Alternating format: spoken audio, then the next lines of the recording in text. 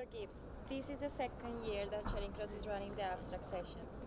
Could you tell us what was different from last year? Yes, I think the abstract program this year was much bigger.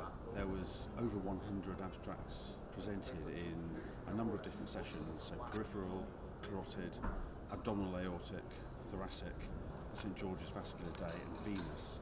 So I think the overall, the um, there was a lot more interest, there's a lot more um, submitted abstracts, and the standards and the qualities were really very high this year. Why is it important for Charing Cross to have an abstract session? I think it's, um, it's, it's very important to allow um, a voice to all vascular surgeons who've got something of interest to say to actually get that message out at the meeting. And it will allow the, I guess, the organisers to bring new talent and new ideas and new concepts forward. One of the one of the really key things I think Roger's done this year is to award these certificates of merit for the very best abstracts, and that enables the winners to suggest topics for next year's programme. So I suspect this abstract is going to be a really fertile recruiting ground for the future stars of vascular intervention. Could we talk about uh, those abstracts that were the prize winners? What were they? Why did they win?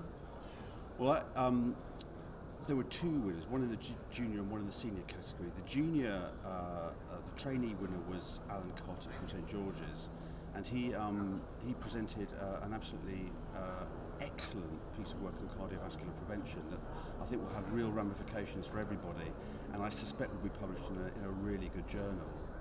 And then the senior winner, uh, Murray Shames from Florida, I was actually at that session, just gave a really interesting talk on um, EVAR and uh, over 12 years and some of the problems associated with it and the putative solutions. So that was a, that was also an excellent an excellent topic. Uh, are there any other abstracts that you, you would like to highlight? Uh, there were multiple excellent abstracts across the whole field. I wasn't at every single uh, every single um, session. I think from my own bias, I thought uh, Thodur Vasudevan from Hamilton in uh, New Zealand gave a really good talk on um, preemptive bypass for type A, future-proofing type A dissection, which I thought was really original and a really excellent paper. So it seems like we got abstracts from like all over the world, as it seems like New Zealand, Egypt. Can you? Yeah, I think I think the when, when we, we've just been reading out the, the list of certificates of merit, and they are really from from the States, from Europe, from the UK, uh, from from Australasia. So really everywhere, yeah. What does it mean for a young physician to win a prize like this? Well, I think I think young, keen vascular physicians like winning prizes wherever they can go. But it, I think the Charing Cross brand has got a particular, is held in particularly high regard. And winning a prize here with a really, really stiff and excellent competition actually means something um, important.